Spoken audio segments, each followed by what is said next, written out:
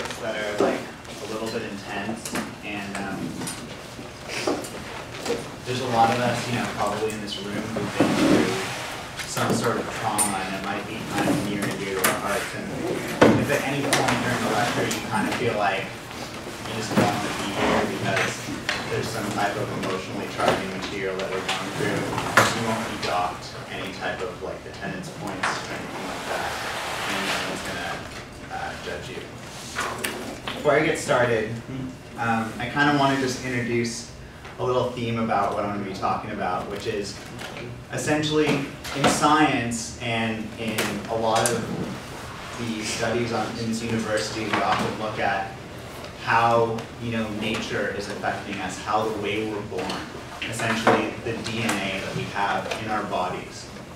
Um, we have a mouse and we alter a certain gene and that mouse has something wrong with it. Or we study essentially how genes affect us, how, how different things we're born with. I think this lecture and kind of the theme of this class is to also recognize that you know we are products of our environment and our world. And actually our environment is changing our internal biology. So with that, I'm going to get started.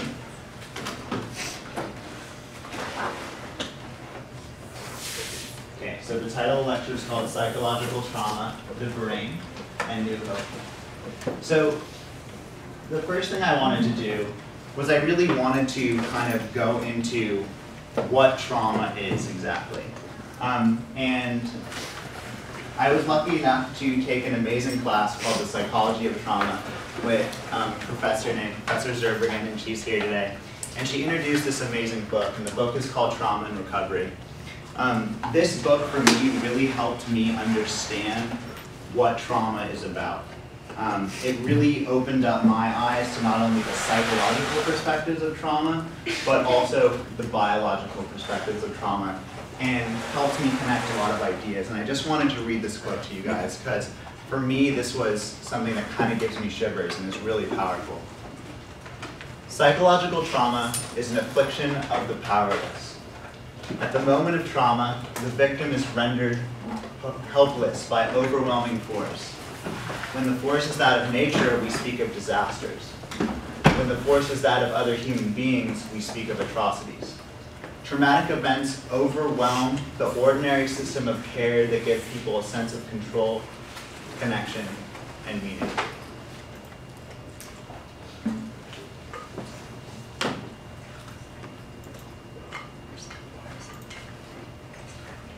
And you know, really what we have to ask ourselves is what is the result of trauma in a human being?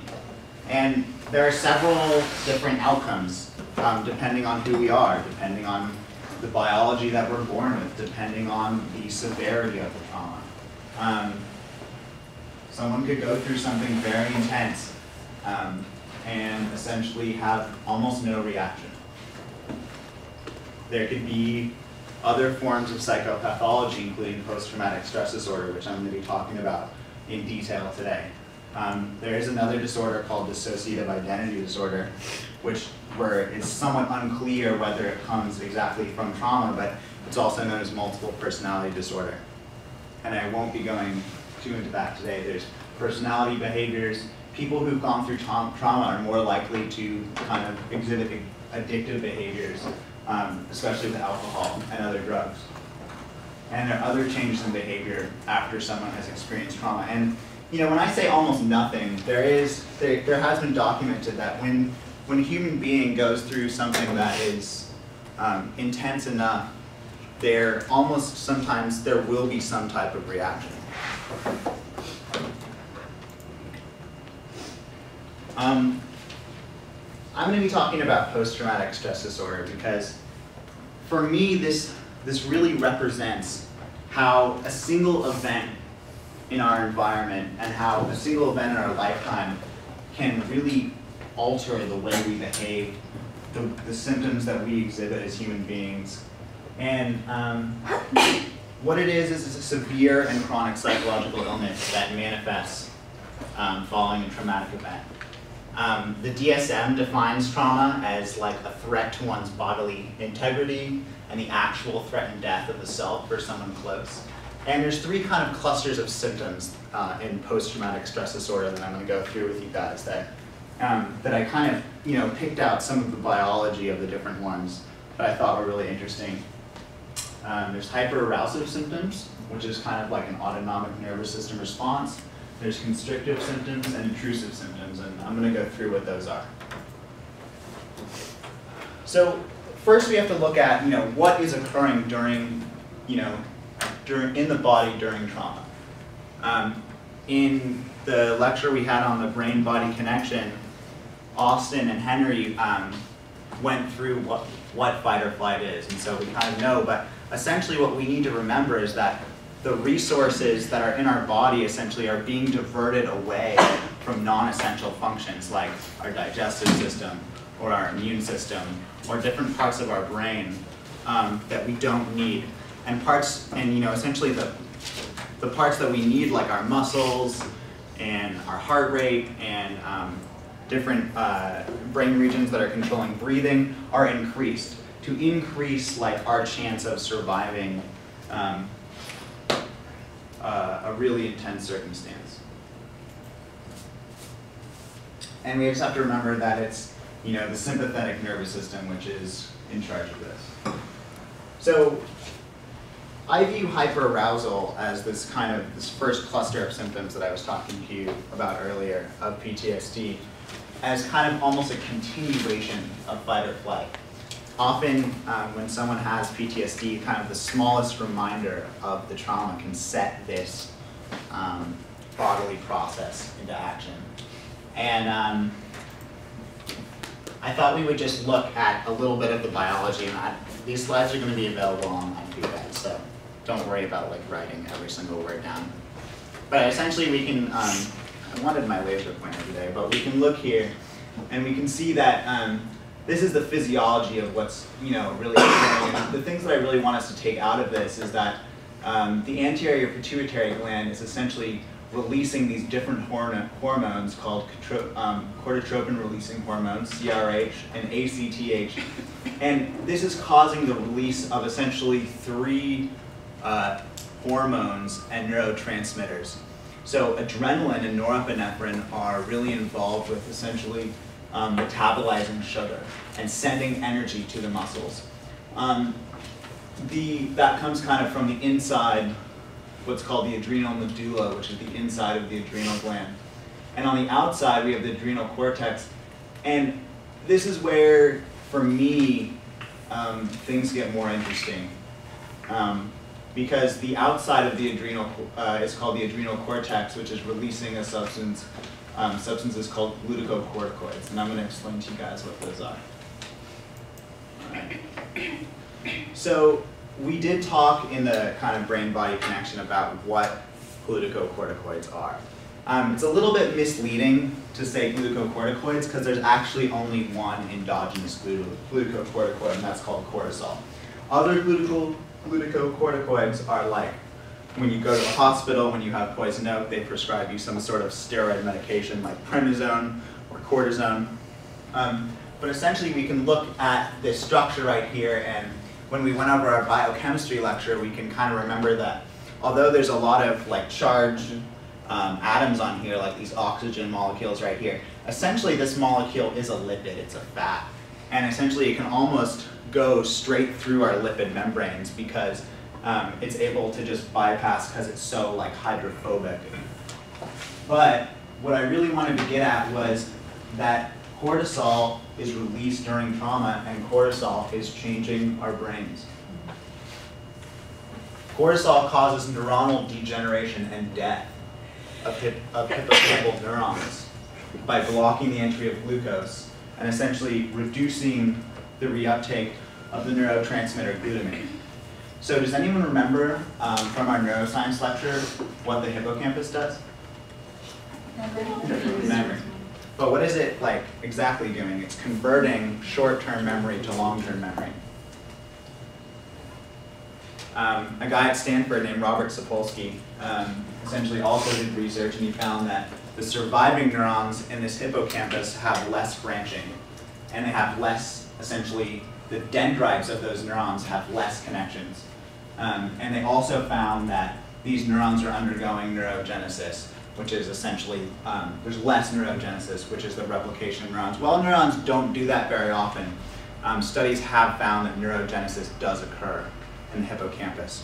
So the hippocampus is in charge of converting short-term memory to long-term memory.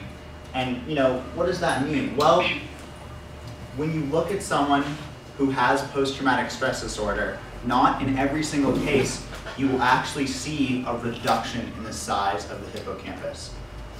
And um, for me, this is, this is really incredible because how is it possible that literally just a psychological event that's occurring um, or something that has not been actually um, physically traumatic to our brain, but has been mentally traumatic to our brain, is affecting our brain physically. To me, this is, when, when I learned this in Professor Zurbriggen's class, to me this was something that was profound. And I said this was so profound of how our environment is actually shaping our physiology. And just to give you guys an idea, so this was a, um, this was a study from um, uh, a guy named Bremner, and he essentially was able to measure the volume of the hippocampus using magnetic resonance imaging, or MRI.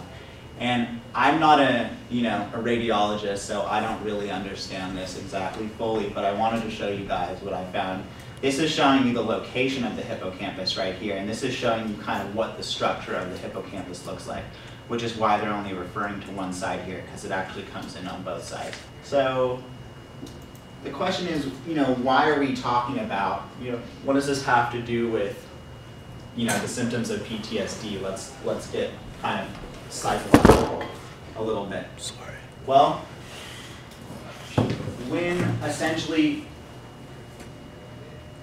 we reduce the size of the hippocampus when we're in this kind of when we're in the midst of trauma, often what happens is we become kind of dissociated. Um,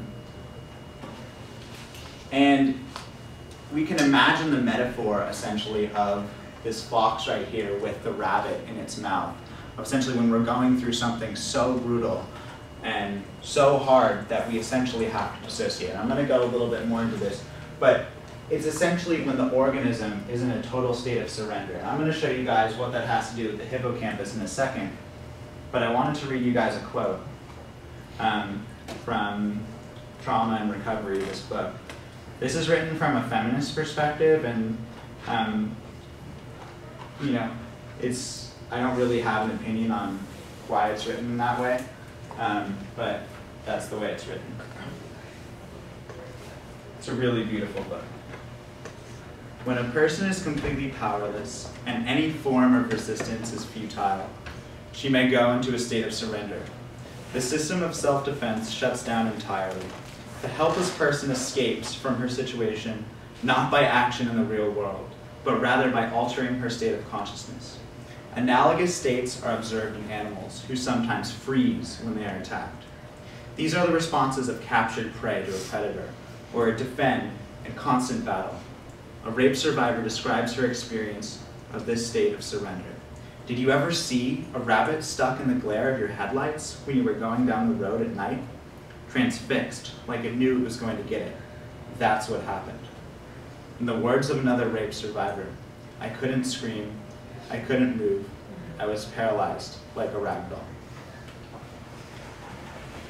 What does all this essentially have to do you know, with the hippocampus? Well, when we're in this kind of like absolute state of surrender, we've actually noticed that there's a correlation between this brain structure, the hippocampus, and this psychological phenomenon because when during surgical stimulation of the hippocampus, um, neurosurgeons have actually found that dissociative states arise in patients while they're awake during neurosurgery, and this is happening. Um, the other piece of evidence is that there's a, pharma, there's a pharmaceutical drug, a Schedule II substance called ketamine. And ketamine is a dissociative drug, and it binds to what's called an NMDA receptor. And it antagonizes this receptor, which means blocking that receptor. And you know, if you've ever seen someone on ketamine, essentially they kind of are dissociated. They're kind of like staring off. Um, just so happens that these NMDA receptors are primarily located in the hippocampus. So this is kind of giving us evidence that, you know, all this stuff, all these brain changes, these psychological phenomenons that we're talking about are correlated together.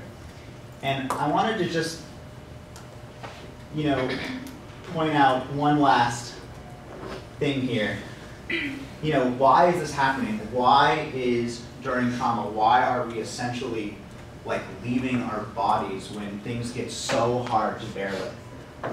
And I think this is the slight philosophical part of this lecture, you know, but we could look at it from a scientific standpoint and say, well, um, maybe this is happening because the organism will increase its chance of survival if it's physically relaxed during some sort of like really harsh physical trauma. Um, maybe there's some other reasons. Um, I'm going to read you another quote um, from Herman. These perceptual changes, combined with a feeling or indifference, emotional detachment, and profound passivity in which the person relinquishes all initiative and struggle. This altered state of consciousness might be regarded as one of nature's small mercies, a protection against unbearable pain. If we're no longer confined to the physical body, and I am no longer in my body, there is no physical pain to be experienced.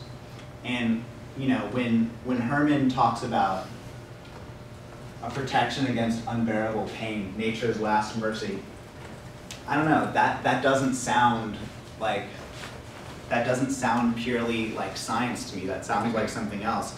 You know, it, it brought up something for me, you know, when David was talking about in his physics lecture about essentially when we observe matter, when we observe these electrons going through this particle field, and it changes the way they react. We break down this wave field, this wave pattern, and we are changing the matter. I kind of feel like that's when the true kind of fabric of the universe is shining through. Is it really like Darwinian? Is it really like survival of the fittest? Is it really, you know, all of this stuff when it's nature's last mer mercy, protection against unbearable pain? I don't know. You decide. Just a thought. So, another state of post-traumatic stress disorder that I'm going to go into less um, is called intrusion. And this is where the traumatic event is relived over and over and over again. And what happens is is that the traumatic moment, according to Herman, becomes encoded in an abnormal form of memory, which breaks spontaneously into consciousness, both as flashbacks during waking states and as traumatic nightmares during sleep. So normal daily activities can become very difficult when we're going through these three symptoms of PTSD, which are hyperarousal symptoms, this autonomic nervous system response, this constrictive and avoidance, and these intrusive symptoms. Um, I'm just often, when I'm reading trauma and recovery, I'm just kind of like touched by what an amazing writer she is.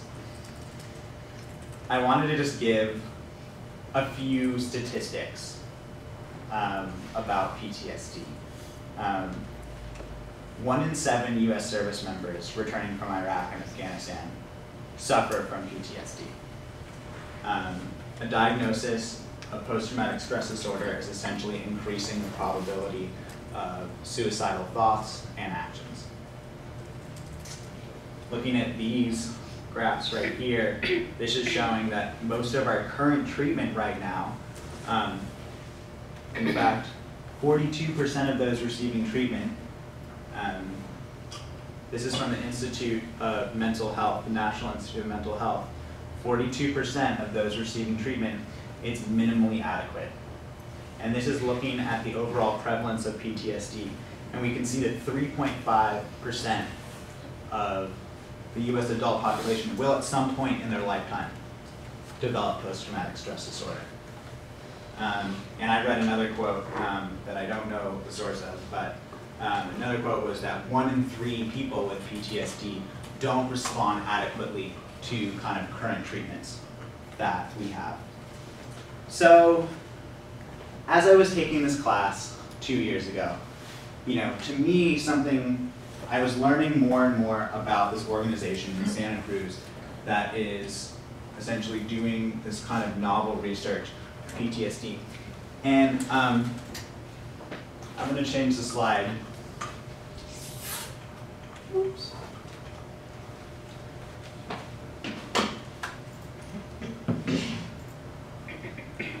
So essentially, what I was struck about by this study, which I'm going to tell you about, was the results they obtained. Downtown, there's an organization called MAPS, and they're sponsoring research using MDMA, um, assisted psychotherapy for PTSD. And essentially how this worked was um, there were two or three sessions of psychotherapy in combination with MDMA and normal therapy. And essentially, I was most struck by the results that were obtained in the study because in the 20 people that they current that they treated, and it was about five years ago, 83% um, of them no longer met a diagnostic criteria for PTSD. So this is a nice infographic that I got from MAPS. And you know what this is essentially saying is that the results of even one session just this one life experience, just like this one traumatic event that changed our behavior, just this kind of one treatment was actually making a difference. Um, so the actual study, what happened was there were two sessions, three to five weeks apart. And 83% of the participants, it was something like uh, 18 or 19 of them, essentially no longer met a diagnostic criteria. And if you have some questions about it, I'm going to be going through this. So I, I took this video from CNN, and I thought it was a good overall description of what the work MAPS is doing. Shut it down. For Rachel Hope, the mental agony. He was on guard. It just wouldn't stop. Couldn't shut it down. For Rachel Hope, the mental agony began in childhood when she says she was abused and raped at age four. As a grown up, the smallest trigger like a familiar smell even, would bring it all back. I would get, um, you know, just like very extreme stabbing sensations in my body, you know, and then like fixed vision vi visuals, like being, for instance, raped. Mental breakdowns, four hospitalizations, and along the way, Rachel tried almost every treatment in the book. Tried EMDR, rapid eye movement therapy, uh, hypnosis, Gestalt, yell it out, scream it out. You know, nothing worked. And then she discovered an experiment run by Dr. Michael Mithoefer. He's a psychiatrist in Charleston, South Carolina. This is the place where we do the study, this is where we meet with people, and then this is where we do the MDMA sessions. Intense psychotherapy, including eight-hour sessions after taking a capsule of MDMA, of ecstasy. Now listen closely. On this tape, you can hear Rachel along with Dr. Mithoefer. keep fighting, keep fighting. It felt as if my whole brain was powered up like a Christmas tree. All at once. Sometimes, usually people did have some very positive affirming experiences, but a lot of the time it was revisiting the trauma. It was painful, difficult experience, but the MDMA seemed to make it possible for them to do it effectively.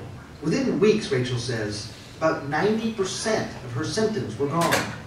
And in results just published, Dr. Mithoefer says that 14 of 19 patients were dramatically better more than three years later. The question is, okay, was this just a flash in the pan? Did people just feel good from taking a drug? So the answer to that turned out to be, no, it wasn't just a flash in the pan for most people. Now, of course, 19 people is still just a tiny study, but it is getting attention. Sutton was the Army's top psychiatrist until she retired in 2010. I've certainly reviewed it, and the results look promising. It's like with the rest of science. We'll apply the rigor, we'll follow where the data leads. We'll leave our politics at the door. Now, I'll point out that none of this means that street ecstasy is safe. Apart from being illegal, you don't always know what you're getting. It's often contaminated. Pure MDMA can cause a higher body temperature, it can cause dehydration. There's also cases where people overcompensate and actually die from drinking too much water. But in a controlled setting, which is what we're talking about here, the evidence does seem to suggest that it can be safe. And Mithoefer is halfway through a study offering this treatment to combat veterans, firefighters, and police officers. Dr. Sanjay Gupta CNN reporting. So currently, this research is being um, conducted, uh, funded from Santa Cruz, essentially a mile away from here. And, you know, for me, this study that was done, although it was done with a small number of people, um, I would be reluctant to use these words if I was writing a scientific paper, but it, it seems incredible. Um, it seems unprecedented. It seems really promising. What I was struck with when I heard about this was I was kind of less interested in the fact that they were using a scheduled substance, and I was more interested in the fact of how it was possible that they could essentially cure someone of this disorder or you know get close where the where the the trauma survivor is no longer meeting a diagnostic diagnostic criteria for PTSD and that not not only do that but then essentially cure someone but then not only do that wait 41 months where there's no MDMA where there's kind of nothing in between that point. I'm sure there's normal therapy that's occurring, but there are no drugs being administered. And then essentially these results are maintained. How is that possible? Like, that is not how Western medicine functions. Western medicine functions by going to a psychiatrist who will see you for 15 minutes at times and prescribe you a medication that you will take daily. So we're going to talk more about that. But I thought about it, and I thought about it, and I thought about it, and I thought about it. And then I remembered that I read this book. and I said, I think I have a hypothesis about what's going on here. And so the rest of my presentation is kind of what I've been working on for the last two quarters of really trying to understand what's going on here. So first we kind of have to understand what is MDMA. Well, there you go. 3,4 methylene dioxy and methamphetamine. Um, we can see here that it's called a phenethylamine because we have this ring structure right here which is called a phenyl group. And then we have these extra carbons sitting on the side chain here which is called an ethyl and an amine. Um, it's an amphetamine derivative, so it's related to drugs like methamphetamine, and it's related to drugs like, um, you know, people take for ADHD, like Adderall or Ritalin. Um, it's different, it's quite different, but um, they are related, it is related to those compounds. MDMA um, is classified as what's called an entactogen. Um, this was a, a term derived by a guy named David Nichols and he's a chemist at Purdue University who is actually one of the only, um, who's actually the only man in the entire United States that has a license to synthesize LSD and do research with it. But um, essentially what it comes is that this name came from these kind of feelings of empathy that MDMA produces and this safe feeling that someone gets from MDMA. And it comes from Greek and Latin roots, N with means within, and tactos means to touch, and gen means produce. So, um, I thought we would just, I, I, you know, I said, well, you know, if I, I really want to understand, if I think something's changing in the brain, like I think I really have to understand, you know, what MDMA is doing in the brain from the different studies that have been conducted by all sorts of the spectrum, by people who, you know, really believe in MDMA, who people believe that MDMA is toxic, um, essentially, th there is an agreed upon mechanism. But essentially what happens on a very simple level is that MDMA is being reuptaken by the presynaptic neuron, which is this one right here. Okay? And um, what that causes is a large efflux of serotonin in the synapse. And on top of not only causing serotonin to be released into the synapse, It's also um, works somewhat like an antidepressant too, where it's actually blocking the reuptake of serotonin, which means in this presynaptic neuron,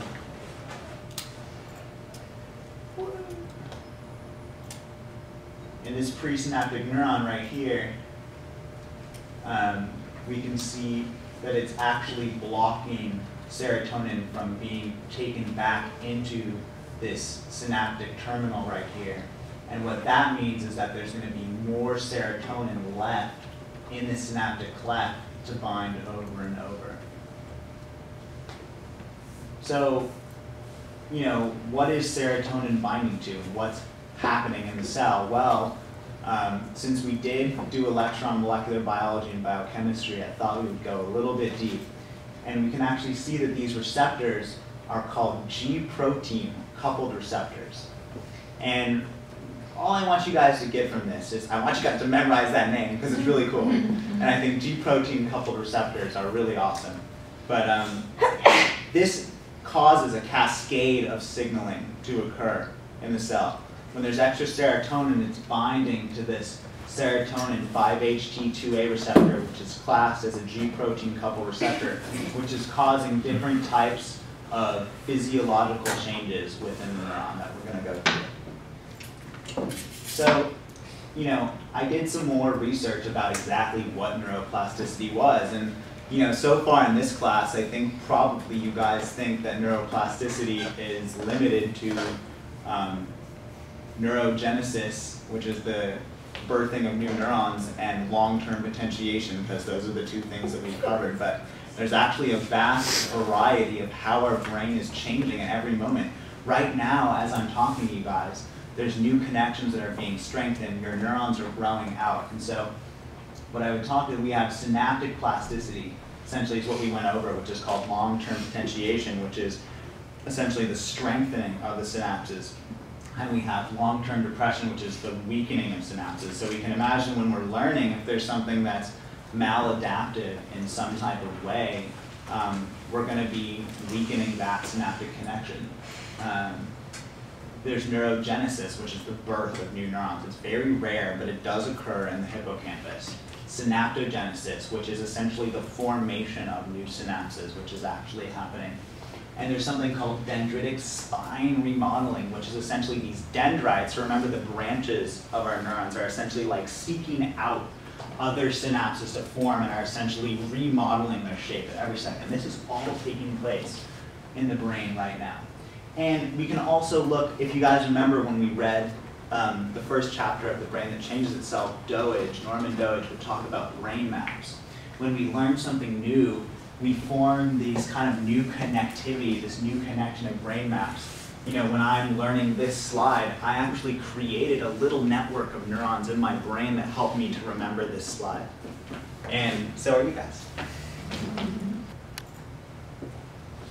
So again, this is LTP.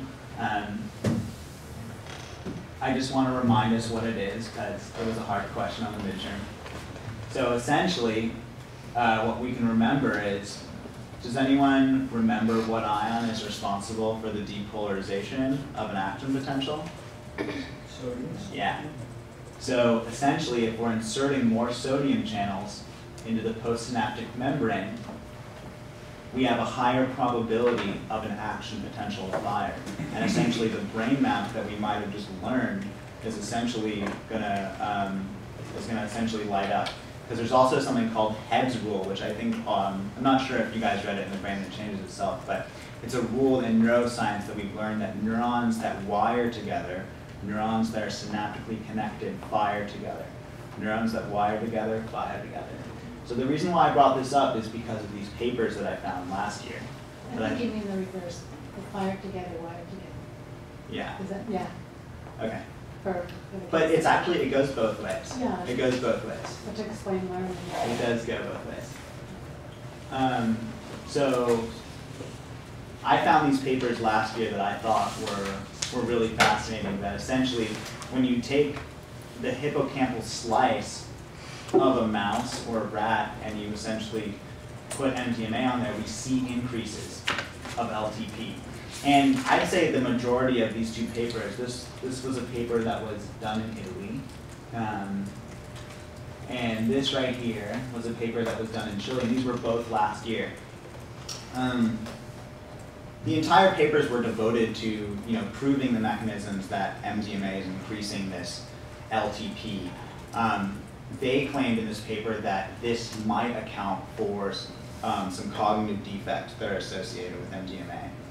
And um, I, you know, I agree. I think that's true.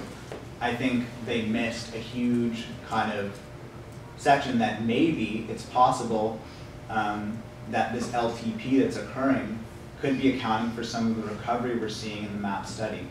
Um, just a hypothesis that I possibly have. What I, what I gathered from these papers was that at this juncture, the exact mechanism and the exact implications of long-term potentiation that we've been learning about that's induced by MDMA is unclear. Um, I found some other evidence too. So, you know, while a lot of the treatments for PTSD like are ineffective, um, there are some that um, do help. And there's something called an SSRI, which we're going to go more into on Friday when we have our lecture on psychopharmacology, but it's called a selective serotonin reuptake inhibitor. And what essentially is happening is, like MDMA in some ways, the antidepressant, what it does is that it blocks the reuptake of serotonin in the postsynaptic neuron, like we were talking about. And in this study, they found that there was an, a 5% increase in hippocampal volume from uh, in PTSD uh, in trauma survivors. So again, this is increasing the amount of serotonin that's in the synaptic cleft. And if this antidepressant, which is increasing serotonin, is having this plasticity, maybe there's some plasticity that's occurring with MDMA. So, you know, I wanted to just like point out that um, it's probably, you know, if you just, if you had someone who experienced some type of trauma or anyone, in fact, and you were to just administer them this drug without any type of therapeutic setting, you know, essentially there would be no uh, positive reaction, most likely. Because what's occurring is that um, there's this comfortable, kind of aesthetically pleasing environment. And what they found is that mice who actually have been um, stressed out, who have been, whose, whose stress has been induced in these mice and rats, essentially when you put them in an enriched environment, they find increases in, hip, in hippocampal neurogenesis. Maybe it's possible that the combination of this therapeutic environment and essentially this, um, this substance that's lowering activation in our amygdala and essentially allowing us to process emotions is creating some type of ideal framework for recovery.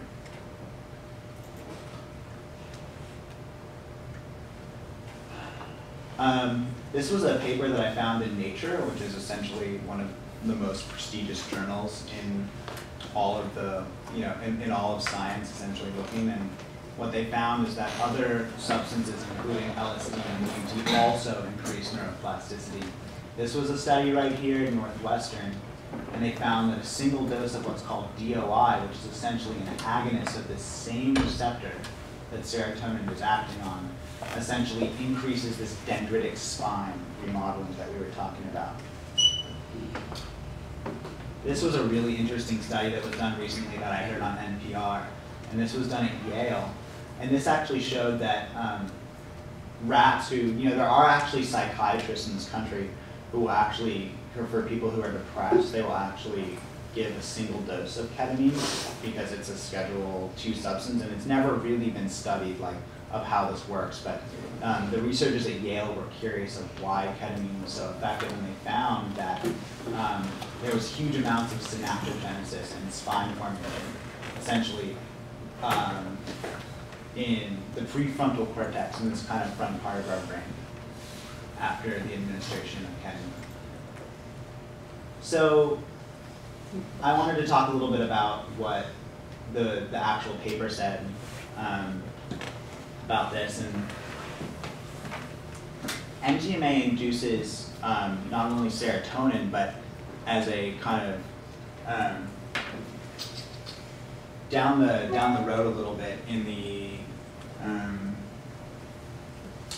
in the reaction within the neuron, essentially there is a production of oxytocin. And oxytocin is a hormone within our body that is associated with bonding, it's associated with, um, it's released um, for lactation to essentially help a mother and help um, to bond, for bonding. And essentially that if this drug is releasing oxytocin, which it's been found to be doing, maybe this is helping to form a therapeutic alliance. Maybe there's some sort of therapeutic alliance that's forming between the patient and the therapist. Let's see. So also what it's been found is that, remember that we talked about in our neuroscience lecture, the amygdala is involved with fear. Something I didn't mention is that in post-traumatic stress disorder, there is kind of this extra um, activity in the amygdala and there's this extra fear response that's occurring. And oxytocin has actually been found to reduce that activity in the amygdala. Um, this was a good quote uh, from, from Mithoefer's paper, and he said that frequently, however, treatment may, may be ineffective when patients are unable to tolerate feelings associated with revisiting the trauma, or when emotional numbing during exposure to traumatic memories precludes a level of engagement necessary for extinction. Therefore, if a drug could tempor temporarily reduce and increase inter interpersonal trust without clouding the sensorium or inhibiting access to emotions, it might prove an effective catalyst uh, for psychotherapy for PTSD. So, I mention that. And I'm not sure if there's actually oxytocin being released in those lines right there. Um, I just thought it was a nice picture.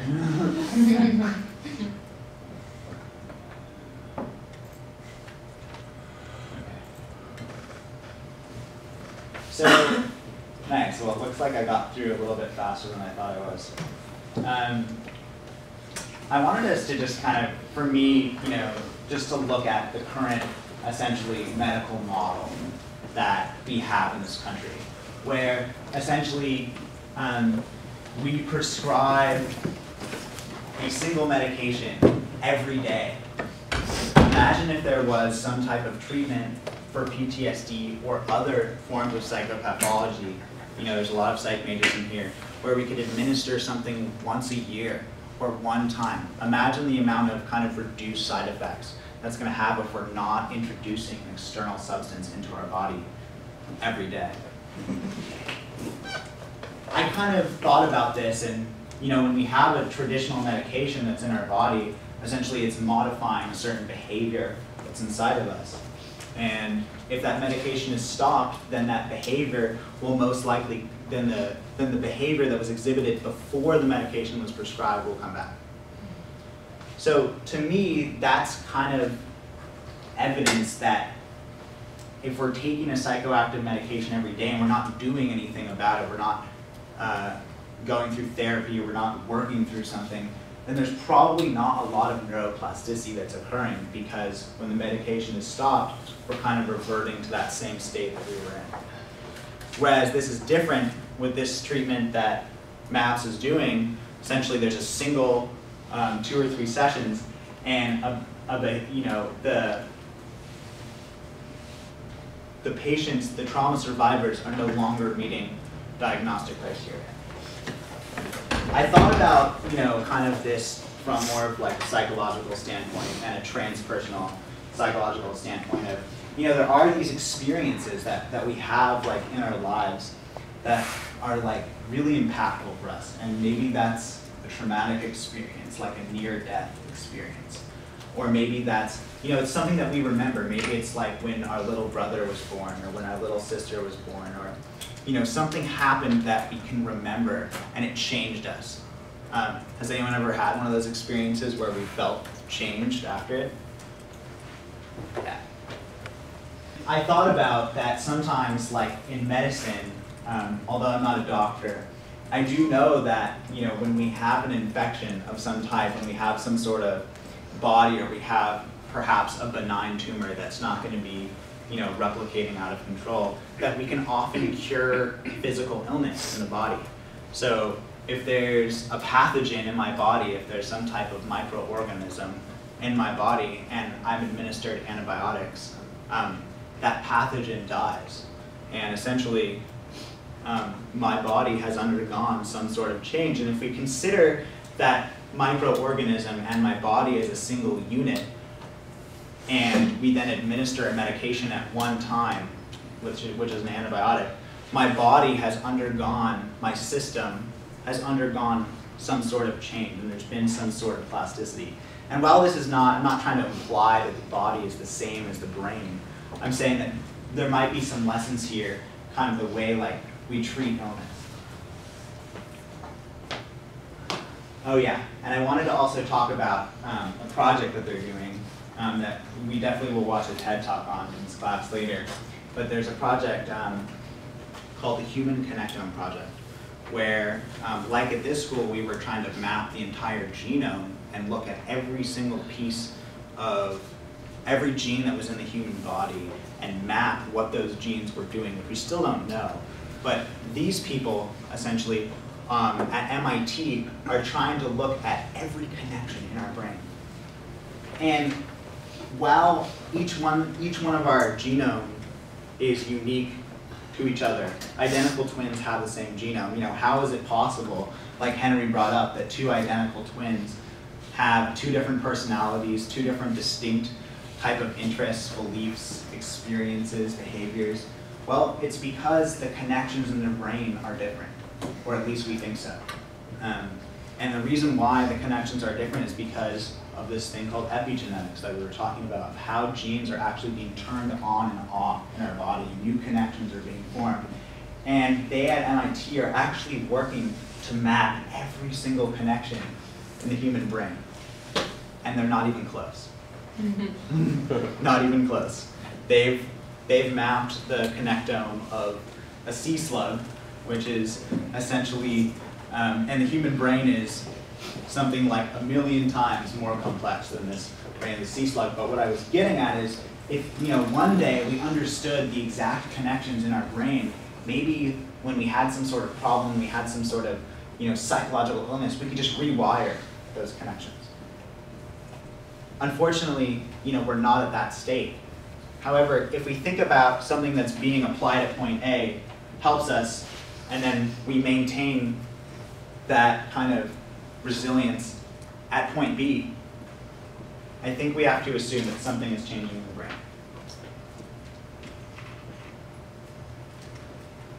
Um, I wanted to just say, you know, one thing about MDMA, and that is that, you know, it's not a safe drug.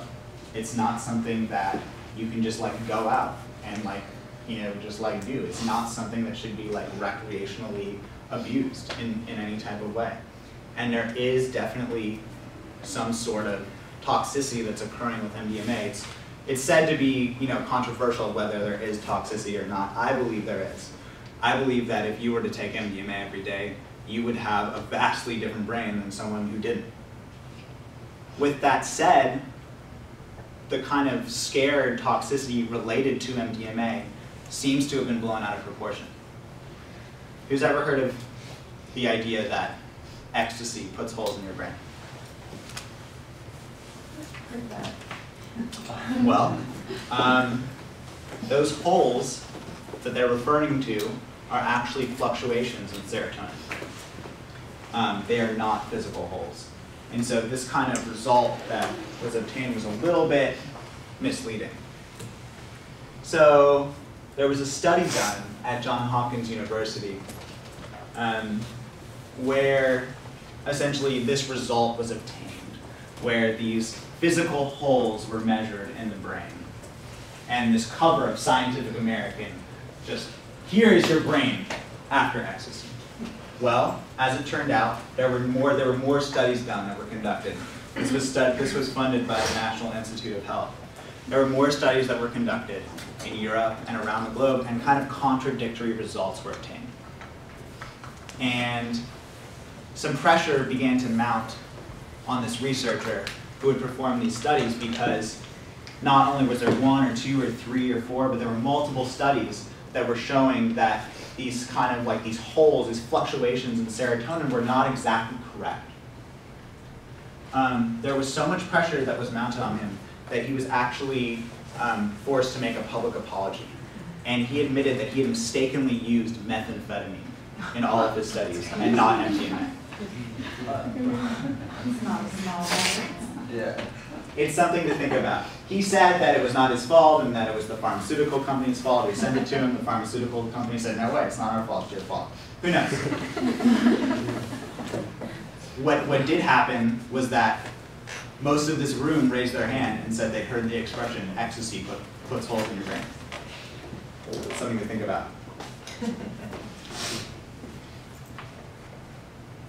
what is this, you know, what is there, what is there, what does this mean? Like, what does this mean that I'm bringing this up? A lot of what I told you, there's no direct evidence right now that MDMA actually increases plasticity. There's no direct evidence that plasticity is occurring in this process or this therapeutic process. Um, I think it really, really needs to be studied. There needs to be further research to look into, you know, essentially what is happening, and people need to start paying attention to what's happening because of this, of these amazing results that we're sustaining.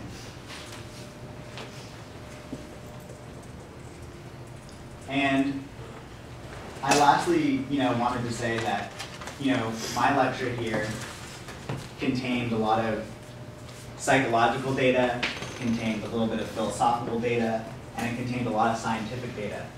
And I think there's, you know, in general, I think this brings up bigger issues about kind of the system of medicine we have in this country and how sometimes we become kind of pigeonholed into one major where, oh, you have to be a psychology major, or I'm sorry, you have to be a philosophy major, or you have to be a history major. Well, hey, I'm actually um, interested in science a little bit, or I'm a science major and I'm actually interested in psychology. And if we look at kind of what's happening here is I, I, I'm studying psychology and neuroscience, and there's no combined major. I have to stay here for five years and, and double major.